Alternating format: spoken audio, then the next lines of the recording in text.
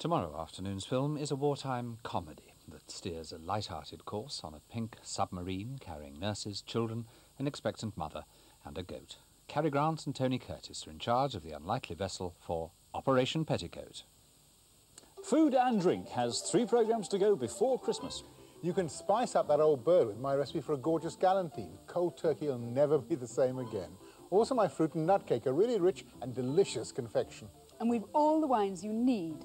Leslie Grantham, Dirty Den to you and me, joined us to pick reds and whites for Christmas dinner, while Bergerac's Charlie Hungerford, that's actor Terence Alexander, of course, will be helping to select sweet and sparkling wines. So join us too for Food and Drinks Countdown to Christmas, starting this Tuesday at 8.30 on BBC Two.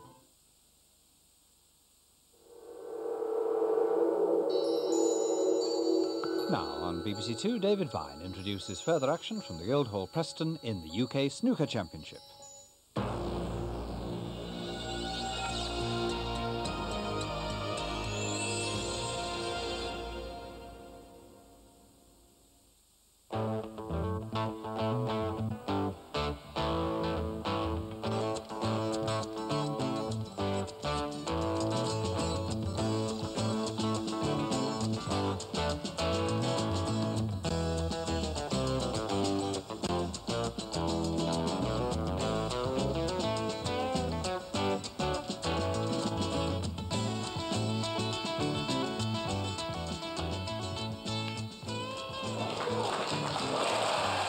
Is the shot that's going to finish this championship.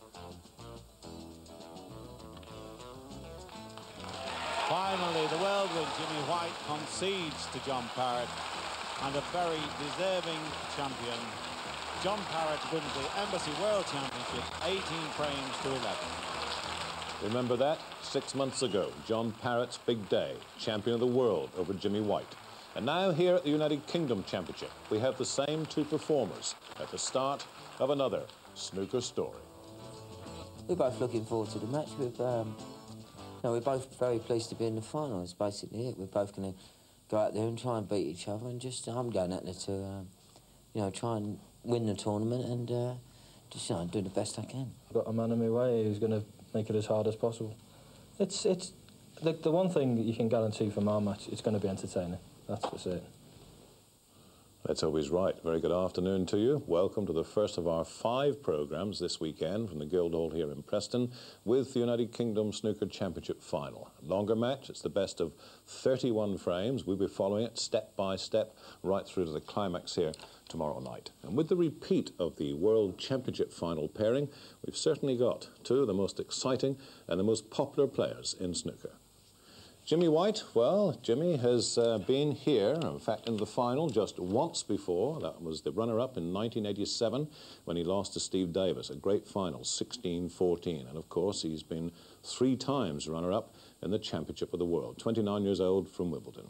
As to the story of how he got here, there it is. And against Dave Martin in the fifth round, he opened up with a break of 117, his only century so far this championship.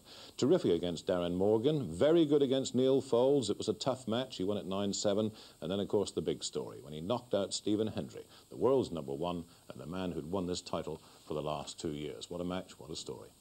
John Parrott. Well, it's John's first United Kingdom final. He's been a semi-finalist twice. He lost to Neil Foulds in 1986. He lost to Steve Davis in 1990. But, of course, the current champion of the world.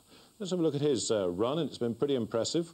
That was a good match against Willie Thorne, 9-4 in round six. He struggled against Dean Reynolds. Reynolds came back at him well, but John came through at the end, nine frames to six.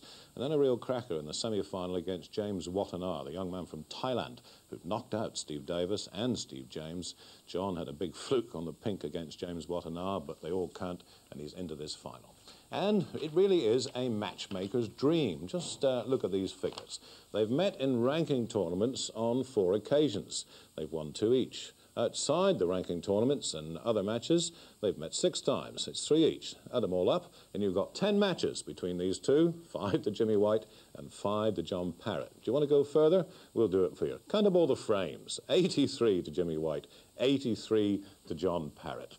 And it's not too surprising that the bookmakers can't split them either. They're making both players six to five on for this United Kingdom title. They don't give too much away, do they?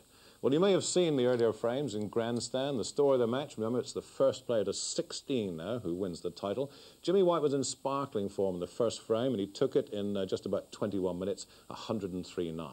He started off the second pretty well, a break of 41, then he missed the pink. So he's let John Parrott in now, so John Parrott yet to score, 41 down, second frame of the final, and here we go with Jack Karnehm and Eddie Chart.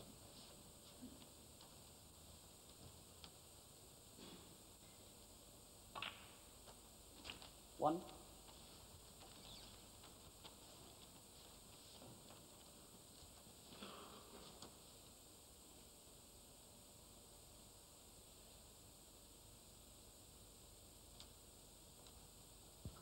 I think his problem, he knows that when he pots the pink, it's going to spot. If it'll go back to its own spot, it's going to jam up one or two of those reds that are in the centre of the table.